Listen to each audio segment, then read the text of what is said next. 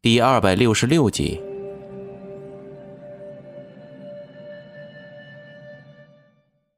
炮爷听我这么一喊，就赶紧的过来，看着水缸，他也愣住了，愣了一会儿，说：“还真是怪事了，这水怎么会变清呢？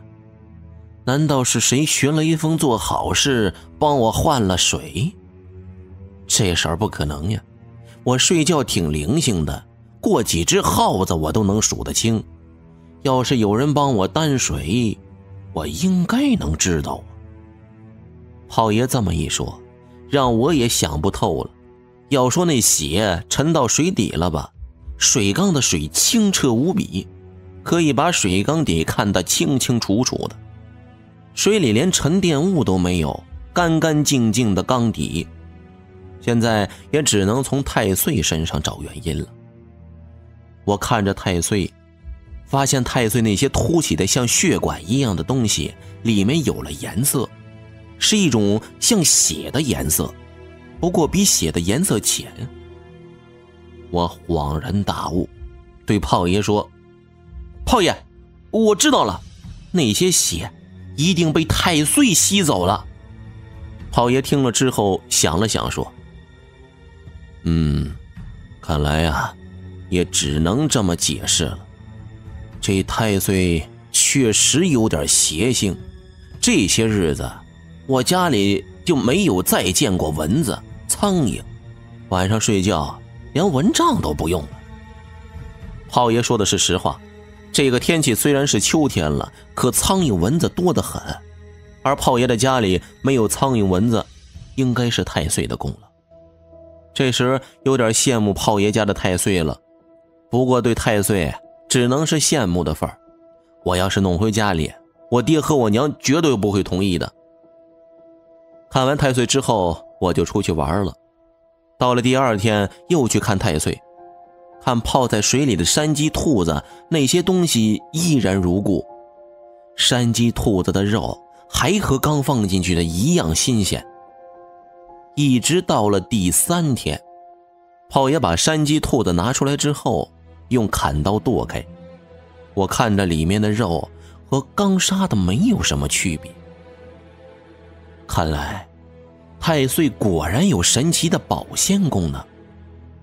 炮爷看着水缸里的太岁，笑着对我说：“ 嘿嘿，世上的人为了保存尸体呀，想了无数的办法。”却不知想保存尸体不腐，和太岁泡在一起就行了。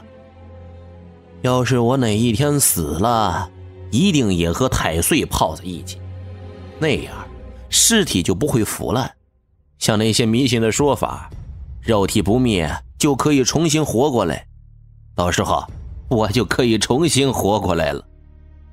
我听到这里，赶紧呸呸呸吐了三口唾沫，说道。坏的不灵，好的灵，全当炮爷什么也没有说。然后看着炮爷说：“炮爷，您大清早的怎么这么说呀？人家大清早的都忌讳死这个词儿。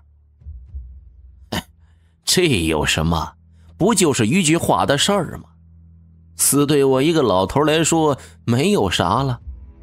我当年打日本鬼子死了多少回，又从尸体堆里爬出来。”现在活了这么大的岁数，比起当年那些死了的兄弟，算是享了太多的福了。要是说死就死的话呀，我早就打算下去陪那些兄弟啦。我看炮爷说这话的时候，印堂上似乎蒙着一层灰，看上去不太自然。我想，炮爷算不算是印堂发暗呢？想着想着，心中那种不祥的预感又冒出来。每当我这种不祥的预感出现之后，就会拼命的劝自己，一定不会出什么事情。但有些事情，并不是我的意志能改变的。炮爷的这句话，一语成戳，没有几天就变成了现实。从那次之后，炮爷有了免费的保险水缸。到山上打猎更频繁了，他不把猎物直接打死，而是打个半死。回家之后剥皮拔毛，然后把滴着血的猎物放到水缸里，反正不用担心猎物的血弄脏水缸了，因为不管多少血都会被太岁吸得干干净净的。而水缸里的猎物，不管过几天，都会和刚杀死的一样新鲜。时间一长，水缸里的太岁也出现了变化。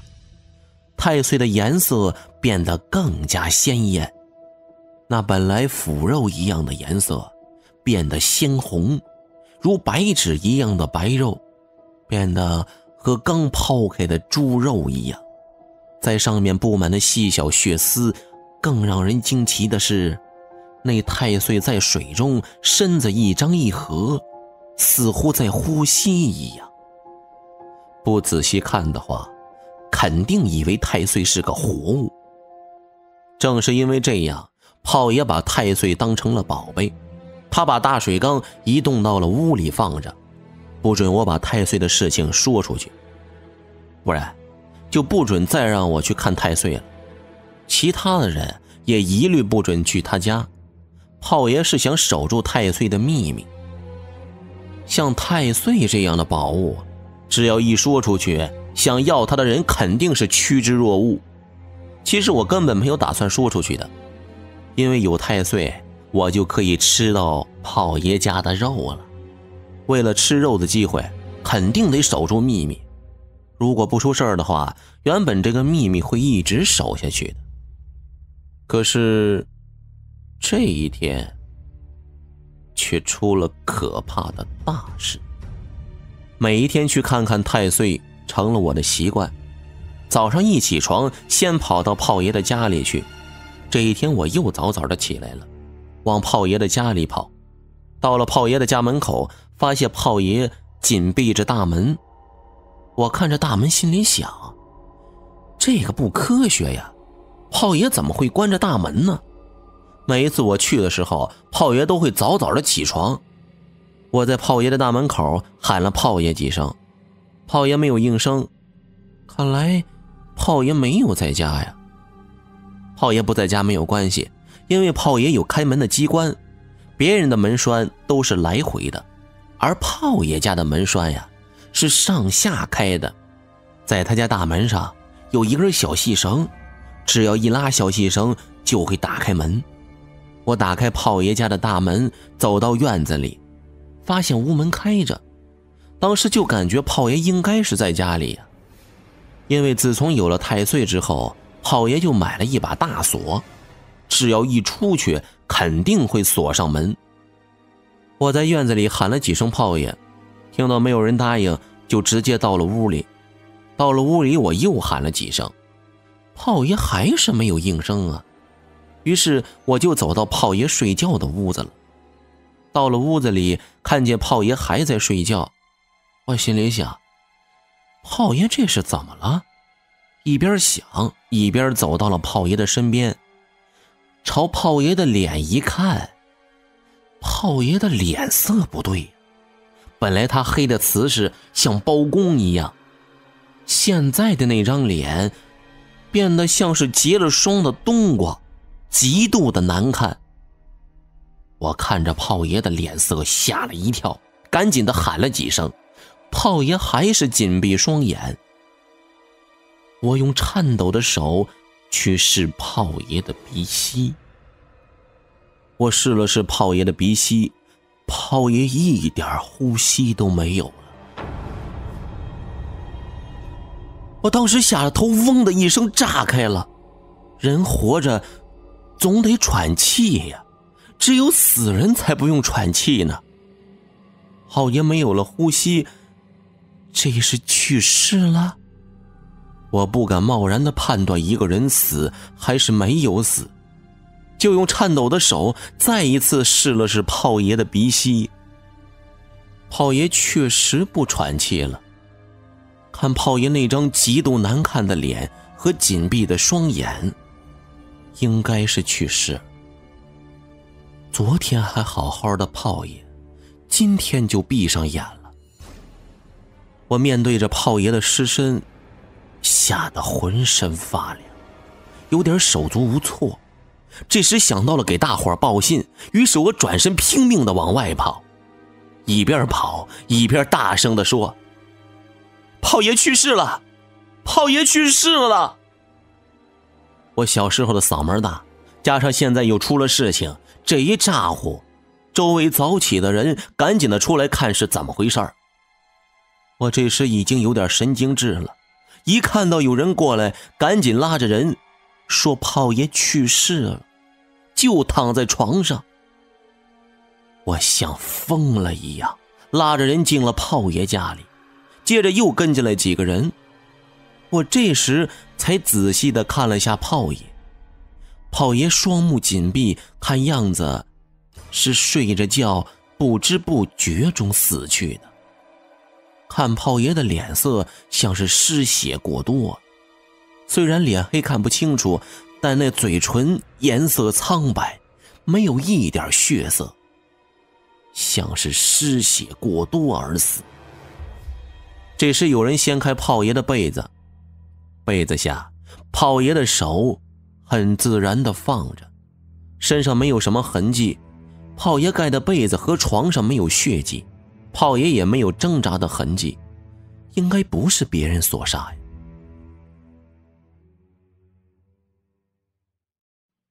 第二百六十七集。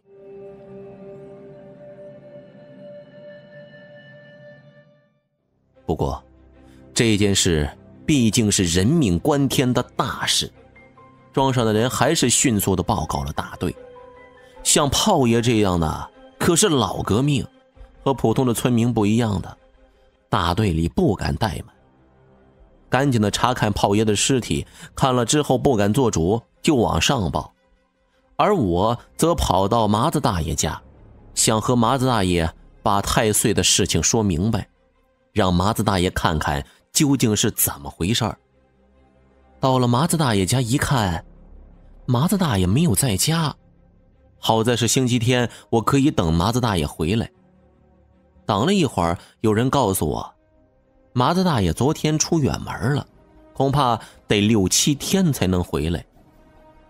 像麻子大爷自从有了师傅的那些书，对风水有了极深的研究，外面有很多人来找他，所以麻子大爷经常出远门。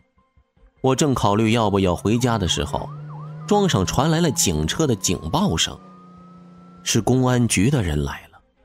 不用说，他们一定是去查看炮爷的。炮爷的死让我心里很难过。因为这些日子相处，我感觉炮爷只是孤僻了一些，但对我还不错。如今公安来了，一定能知道原因的。我想到这里，赶紧的跑到炮爷的家里。此时，炮爷的家门口停着两辆警车和一辆医院里的白车，白车上有红十字，顶上是蓝灯，和警车上的红灯不一样，这个很好区别的。到了跟前，看到看热闹的人已经把门口围住了，几个公安拉了一道绳子，让大伙不要靠得太近了。我正看着呢，这时大队书记过来了，一下子抓住了我的手，把我吓了一大跳。我看着大队书记说：“大爷，你拽我干嘛？”大队书记说：“公安局的同志正在找你呢，没想到你自己来了。”走，到里面和公安说清楚。我有点紧张的说：“找，找我干啥？我进去的时候，炮爷就躺在床上不动了，这个一点都不关我的事儿。”小东啊，你别害怕，那公安同志找你就是为了了解一下情况，我也没有说关你的事儿啊。说完之后，就拽着我的手，把我拽过了警戒线，然后一抬警戒线，直接把我拉到院子里。进院子的时候，众人的目光都紧紧地盯着我，议论纷纷，好像是我犯了事儿一样。那些人就是这样，听风就是雨，风雨听不到也会自己琢磨事儿。我不敢多看，也不敢多想，只是低着头往前走。到了院子里，大队书记对公安说：“所长同志，就是这个孩子最先发现炮爷去世的，有什么事情，你们问他吧。”我低着头不敢看公安，心里砰砰直跳，真怕这件事儿无缘无故的安到我的头上。都说死人身上有浆糊，只要粘在身上。就说不清了。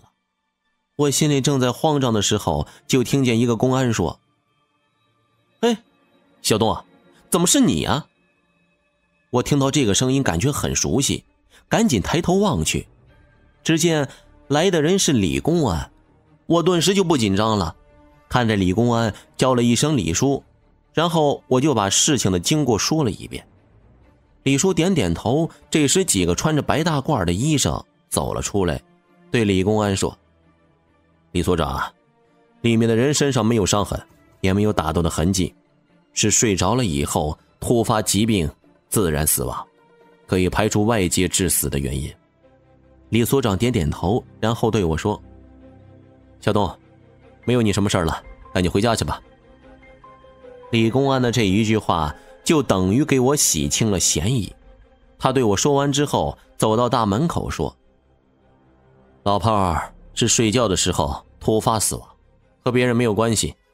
老炮的丧事啊，由村里出钱办，大家都回去吧。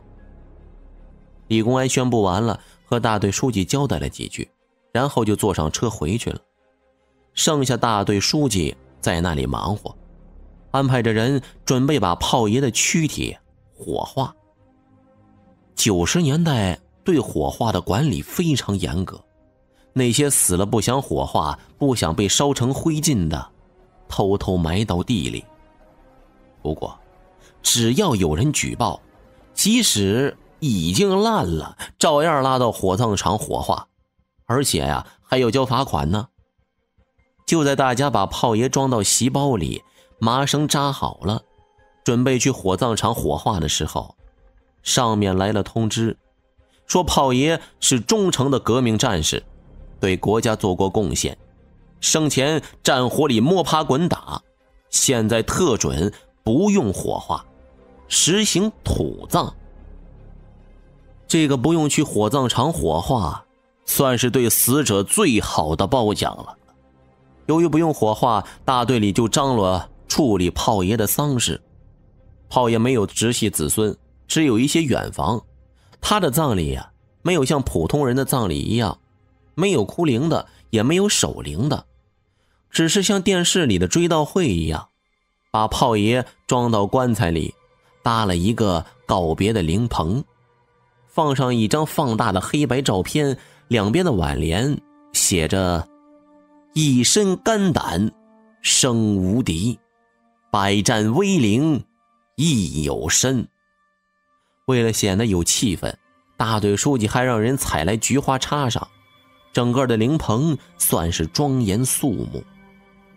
我看着炮爷那张放大的黑白照片，总感觉炮爷用眼睛盯着我，那种感觉格外的瘆人，把我吓得都不敢看照片了。忙活了一天，总算是布置好了，准备第二天开追悼会。据说要来当官的，所以乡下那一套全免。来的人不磕头，只鞠躬。到了晚上，布置好了，大队里管了饭，大伙儿都各自回家了。因为血缘没有尽的，再加上炮爷生前嫉恶如仇，不怎么会为人，到最后连守灵的人都没有。炮爷的棺材孤零零的放在院子里，两根白蜡烛好像随时可能熄灭。这个守灵的事情都是亲属问事，没有外人帮着守灵的道理，所以大队里不管这些，反正不会有人来偷尸的。到了第二天，我爹也被叫去帮忙了，由于我得去上学，就没有看热闹。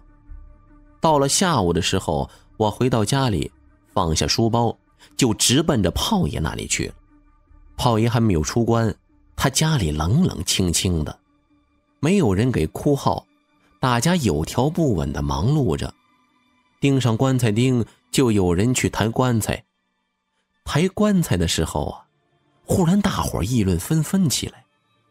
原来那口棺材非常的轻，不像是装着一具没有火化的尸体。不过已经钉上棺材钉了，不可能再开棺验尸了。就这样，棺材抬到大街上，大伙在旁边看着棺材出棺，没有哭声。棺材孤零零的放在大街上。有人在棺材的头上摔了老盆，这个老盆本来该有孝子顶的，俗话叫“养儿防老，顶老盆”。炮爷没有儿子，只能自己顶。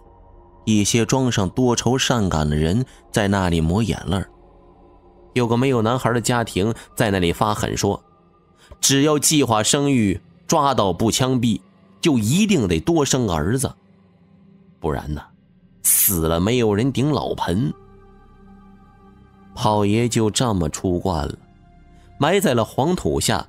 本来已经盖棺定论了。可自从炮爷葬了之后，庄上开始不太平。白天什么事儿都没有，可是，一到了晚上，庄上的那些狗就会悲鸣，声音凄厉，有点像哭泣，非常的可怕。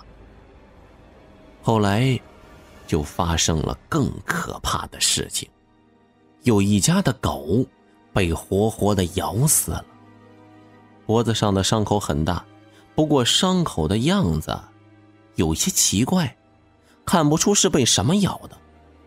被咬死的狗身上除了脖子的伤口之外，身上的肉一点都没有少。看来咬死狗的那东西不是为了吃肉，而是为了喝血。那家人的狗被咬死之后。又陆续的有狗被咬死，当然，只是咬死喝血，没有吃肉。庄上被一股恐怖的气氛弥漫，一时间人心惶惶，谣言四起。最主要的谣言是母夜叉又回来了，到处的喝血。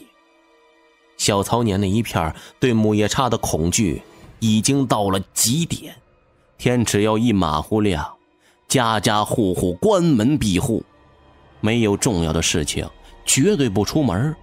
我晚上就不能出去玩，心里非常的着急，盼着麻子大爷回来解决这件事儿。